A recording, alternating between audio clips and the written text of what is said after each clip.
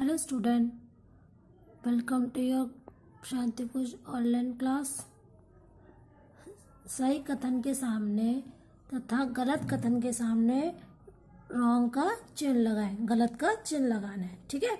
सबसे पहले विद्या को राजा छीन सकता है? ये स्टेटमेंट सही है क्या? गलत है। विद्या को चोर नहीं चुरा सकता। राइट विद्वानों का कोई सम्मान नहीं करता? गलत। धनवान का सम्मान अपने नगर में ही होता है। राइट विद्या दूसरों को देने से बढ़ती है। राइट विद्या का धन दूसरे धन से अधिक अच्छा होता है। राइट धनवान का विद्या के बिना सम्मान होता है। गलत। विद्या का बंटवारा हो सकता है। गलत।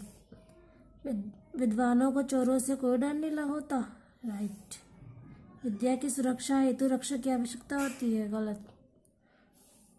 इसके बाद आपको करना है इसके प्रश्न उत्तर ओके? व्यापारी के कितने पुत्र थे? उनके क्या नाम थे? व्यापारी के दो पुत्र थे और उनके नाम थे अजय और विजय। बड़े होकर अजय और विजय क्या बने? बड़े होकर अजय व्यापारी बना और विजय विद्वान बना। एक दिन विजय ने अजय से क्या कहा? एक दिन विजय ने अजय से कहा, मेरे भाई, तुमने जो एक दिन अजय ने विजय से कहा, विजय ने अजय का उपवास करना प्रारंभ कर दिया। वह बोला, भाई अजय, तुम व्यर्थी अपना जीवन पुस्तकों के पीछे नष्ट कर रहे कर दिया। यह पुस्तकें तुम्हें क्या देंगी? इनका क्या मूल्य है? यदि तुम इनको बेचने भी जाओगे तो हज़ार पाँच सौ रुपये में अधिक नहीं मिलेंगे मिलेंगे। अब तुम मुझे देखो, मेरे पास सारी सुख सुविधाएँ हैं, मेरे पास कार है, रहने का शानदार घर है, मेरे पास करोड़ों रुपए हैं, और मेरा सम, सम्मान करते हैं। तुम, तुम्हें कौन पूछता है? यदि तुम अलग रहने लगे तो साधारण जीवन ही बिता पाओगे। नेक्स्ट अजय ने विजय की बात का क्या उत्तर दिया? जब उसने ऐसा कहा तो उसने क्या उत्तर दिया? मेरे भाई, तुमने जो कुछ कहा हो सकता है, वह सत्य हो। किंतु मेरे विचार में धन का कोई विशेष महत्व नहीं है।